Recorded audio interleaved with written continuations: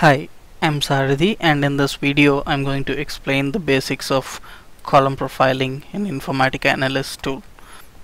So in this video we're going to see how to create a column profile, then how to run the column profiling and how to interpret the column profiling results. Now to run a column profile we need to log into the Analyst tool. So this is how the Informatica Analyst tool looks like so I already have two data objects a local table and, and, server table the names with local table and server table. These are flat file objects. So I will try to create a profile on the flat file called local table. So it has five rows with IDs ranging from 1 to 5 and certain departments and there is a null department for 5 so what I would do is I would say new profile and I'll select column profiling. And here I can select both the tables to be included in this profile or I can select only one of the tables. I can select as many tables as I need. So I will select the local table. So I'll say next. By default the name is profile underscore local table. So I would change it as my profile underscore local table. Now I do not have any profiles run yet so it doesn't show any profiles here. Otherwise this window on the right corner shows what are all the profiles that currently exist in my analyst tool so I would say next. And here I would select the columns that need to be profiled. So I would select both the columns that that exist in the flat file source. And on the right corner in the sampling options we can see on how many rows can the profile run. So if you select all rows the profile runs on all the rows in this in this flat file source or you can say the first 10 rows or you can say a random sample of say a random sample of 5 rows or you can do a random sampling of auto number of rows. So it, it picks up uh, the number of rows at one time. So I would do a profiling of all rows and there's a concept called drill down. Say for example after profiling I would identify a pattern. Say a department name has only two characters. That's a pattern. So I would like if I would like to know what are all the departments that have a, a name ranging between one and two characters I would click on that pattern and drill down to see what are all the rows that match that pattern. So the drill down concept drills down and shows us the rows that match a particular a pattern or that match a particular rule so in drill down we have something called live drill down and stage drill down. Now if I'm doing a live drill down so when I click drill down on the profile result so once the profile result is created if I if I select live drill down now so when I say drill down and show me the rows in the profiling results it would contact my source and get back and gets back with the rows that match that pattern. If I say stage drill down the profiling results and will be stored say in in in a in a table in the profiling warehouse. And say when I click on a particular pattern and say drill down and show me the rows that pertain to this particular pattern it would not contact my source database or the source flat file but it would go and pick the rows from my profiling warehouse that is configured for this uh, analyst service or the model repository service. Right? So I would do a drill down on the live data. And there's an option here say profile results option. F so if we click or if we check this option then say if I if I modified the profile later and I did not include certain columns in this profile then it will not show me the results or the profiling results of those columns. So this option if checked will only shows the profiling results of those columns for which the profile is currently run. Right? So I will leave it to the default. I would not check it. Then the next option where you can apply a filter. So suppose my source table or, or my source flat file has say 100 records. I may not want to profile all the 100 records but I may want to profile only certain number of records from this flat file. So I can apply a filter here. So there's there are currently no filters so I would add a filter. I would add a filter saying you know ID between 1 and 10 sorry. Right?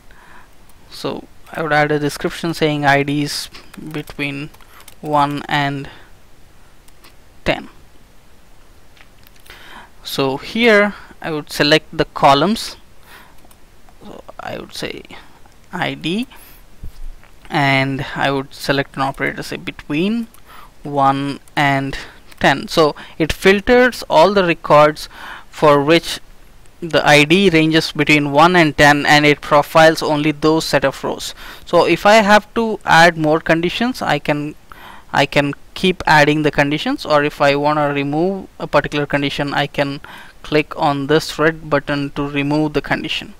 Now this is how we build a simple filter now my SQL filter is disabled here because my source is a flat file. We cannot run a SQL on a flat file. If my source is a relational uh, database I would be able to see a SQL filter also enabled here. Now there is also an advanced filter. Now because I have given a simple filter the rule you know is automatically converted into an advanced filter. Or otherwise we can build our own filters using the functions that are available here say date functions or conversion functions. We can use these functions on the columns in the source and we can build our own expression and validate the expression here. So I would say okay this is my this is my filter. Then I would say next. So if I would like to enable a row level drill down say I would want to see what are all the particular rows that um, apply to a particular pattern I would say enable row drill down and I would say save and run. Now the profile is running. It's profiling the data from the source based on the source filter that we have specified. The source filter is IDs between 1 and 10 so it's currently getting me back the results of the column profile. So if we see here we have profiled both the columns and this is the results of the profile. So for the ID column there are five unique values. So let me so show you my source data. This is my source data. There are five rows and there are four departments and for the fifth row the department is null right? So there are five unique values which are 5 4 3 2 and 1 and for the department there's one null value so which forms 20% of the total values because there are in total five rows and one row is null. This percentage null shows me how how many or how much percentage of the records are null in this particular column.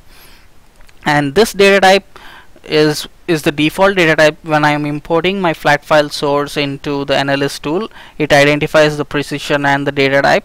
Now these were the defaults and these were the ones that uh, I modified when we are creating the, uh, the the local table or the or the flat file object in the analyst tool. So 100% inferred because there are all, all the rows between 1 and 10 are here and if you see it shows us the minimum value and the maximum value in a particular column. So this is a numeric column. So the minimum value is 1 and the maximum value is 5 and for a string column it, it sorts in ascending order and in alphabetical order I'm sorry. And the minimum value is fin and the maximum value is RD and the last profile run shows when the, this particular profile is run so and the drill down shows what are all the columns that are selected for drill down. Now let's see what what a drill down is exactly. So let's go to this column department column and I see the values here. Now when I say patterns it shows that there are certain departments which have only two characters in the department name. There are certain departments for which there are three characters in the department name and there's one department for which uh, there's no value. It's a null value for the department. Now if I want to see what are the rows that have this pattern of department name I would click on my drill down because I have enabled drill down for this column as well. I see this option. I click on drill down. It's going to go to the source database because I have checked on the live data. I want to perform a drill down. So it has gone to the source database or my source flat file and it is saying that this is the particular row with ID as 4 and department as HR matches this pattern where the department name has two characters. Similarly if I click on this pattern and when I click on drill down it's going to the source uh, flat file and it's getting me the rows for which the department name pattern matches three characters so this is how the drill down concept works and because I have selected drill down on live data whenever I click on drill down analyst tool connects to your source file or database and gets the rows. When I drill down on the staging database when the profiling was running the uh, the analyst tool would store the results in the profiling warehouse. And when I click on drill down it gets me the rows from the profiling warehouse tables.